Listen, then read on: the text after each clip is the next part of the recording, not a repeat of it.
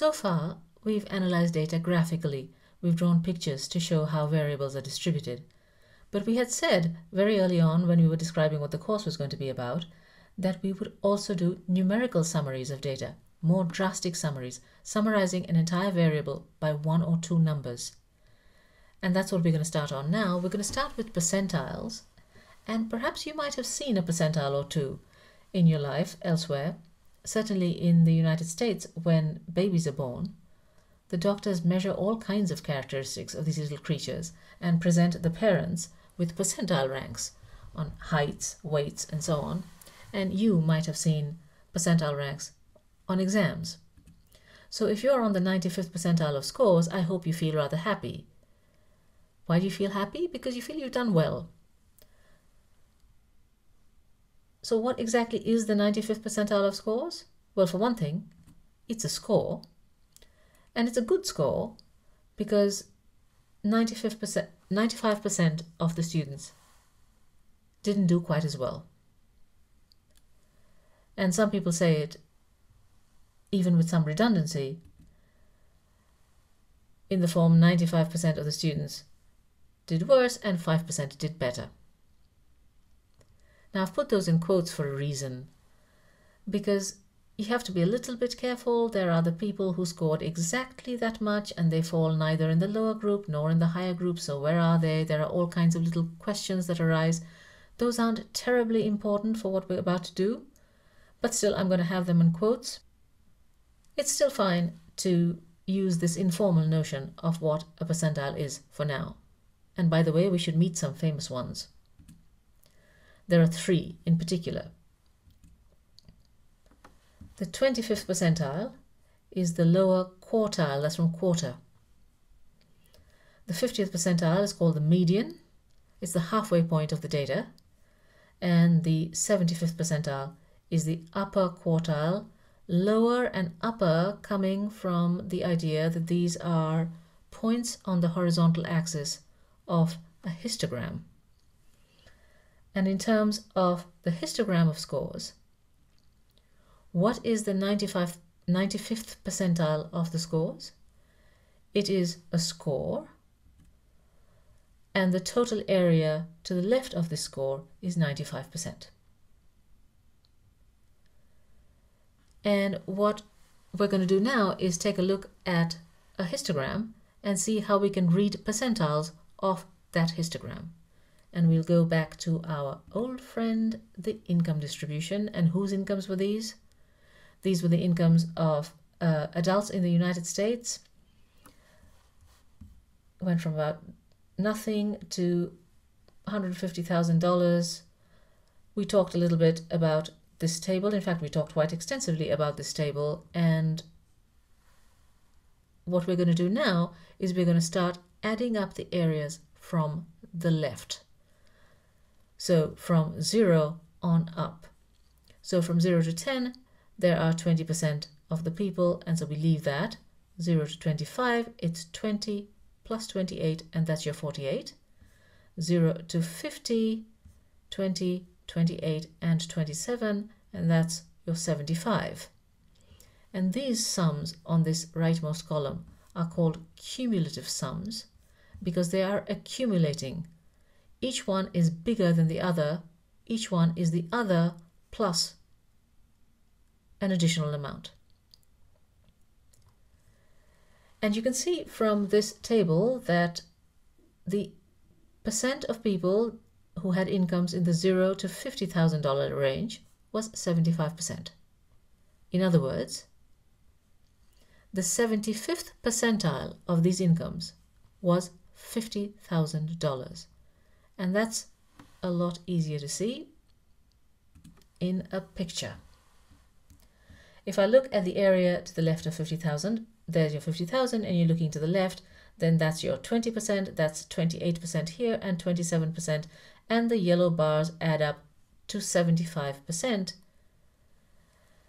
And therefore, 75% of the incomes were below $50,000, which means that $50,000 is the 75th percentile of the incomes. Straightforward enough, and very convenient that these three bars add up to such a nice number, 75%.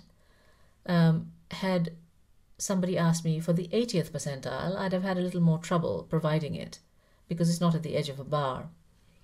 Uh, the median, the 50th percentile, is not at the edge of a bar. 20 and 28 would give me 48 here. And then I'd need to get a little bit more out of this one.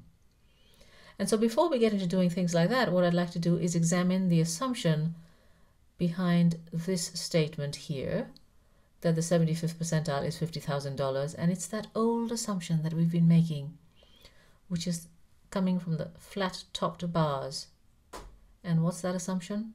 Yep, it's the assumption that the people are uniformly distributed in this interval and in this interval and in this interval.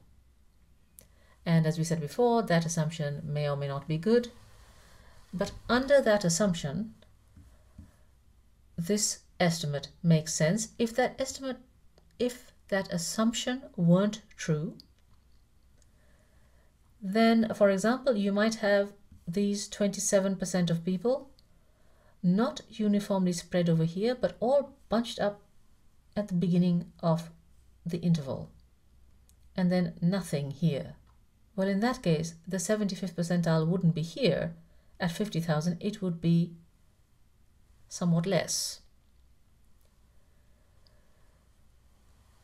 But under the assumption of uniformity, it is here. In fact, under the assumption of uniformity, you are essentially assuming that the variable is continuous. And so you don't have to worry about gaps and bunching and so on.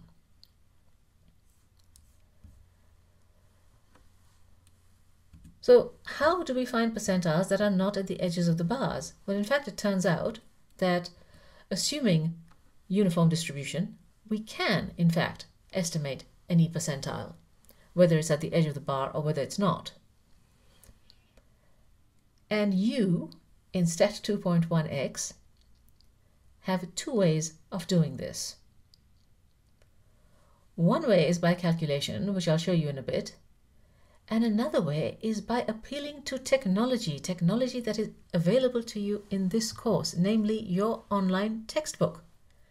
And that is where we are going to go now. So, here's chapter 3 of your online text, and this is figure 3.2, and it is, you guessed it, a histogram. What is it a histogram of? Well, let's see histogram of deviations of g. That sounds terribly hard, but really it isn't. g is acceleration due to gravity. It's what makes you fall down. And that is mm, roughly 9.8 meters per second squared. And in this particular experiment, the reference number was 9.79 something or other meters per second square. The details are in the text. And that reference number was called zero. And then what the scientists did was they measured the gravitational force over and over again and computed that acceleration. And what was recorded was how far off each of their measurements was from this reference number. So this 50 means that measurement was 50 units higher than the reference number, and this minus 100 means this measurement was 100 units lower than the reference number. The units also are defined carefully in the text. Now, if you take a look at the histogram, it's clear that the majority of the measurements were below the reference number. So what is this area line doing for you? Let's take a look at what the text does. The area from minus 160, where's minus 160? Minus 160 is the low end here, all the way to all the way to minus 160, which is still here. And that is why that area is zero. There is no area between minus 160 and itself. However, if you start to change this right end, look what happens. You see the yellow area that is shaded is 12.24%. So for example, if I wanted the 10th percentile, then I would come down a bit. And I can never do this properly without actually typing. Okay, okay, okay, that's 9.1. So why don't we try minus 108?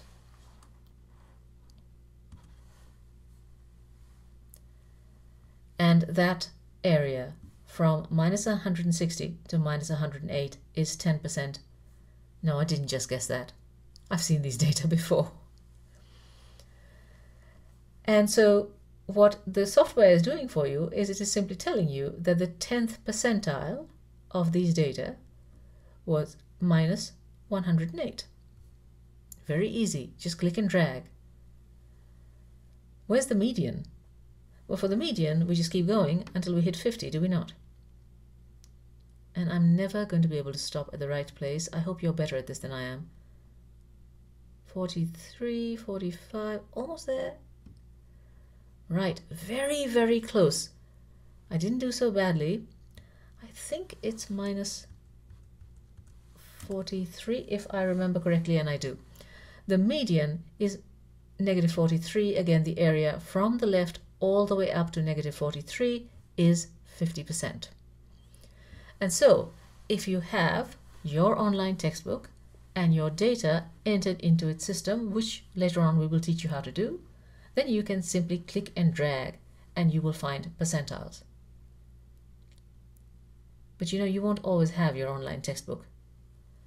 And so you probably want some other tools with which to be able to do it.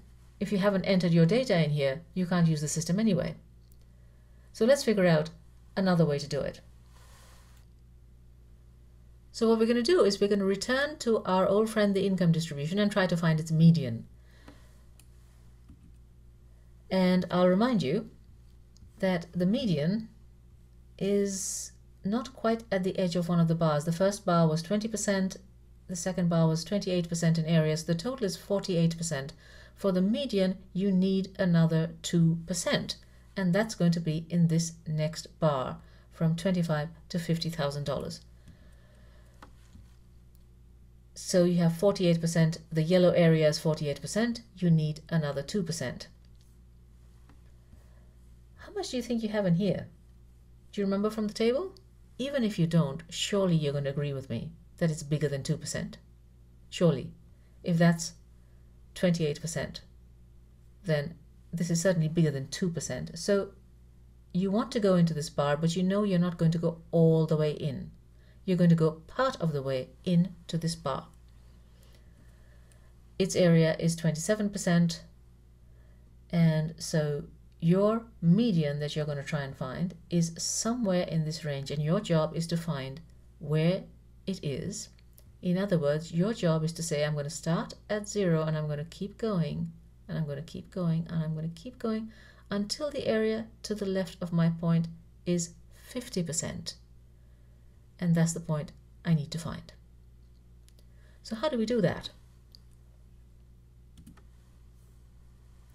Well, these yellow bars have a total area of 48% and we need another 2% as we've said a couple of times.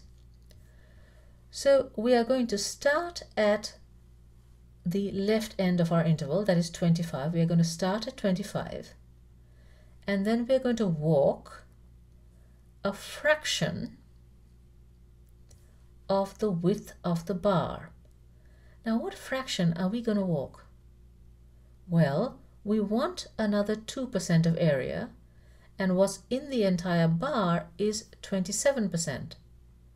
And so the fraction that we're going to walk is what we want, which is 2, over what we've got, which is 27.